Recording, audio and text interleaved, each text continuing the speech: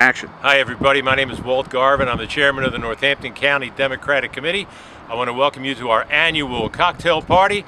I want to recognize our, our featured speaker, Congressman Holden, and all of our great candidates who are running. I want to welcome our great friends from Labor here for all their support, plus all of our supporters. This is the run-up to the primary election.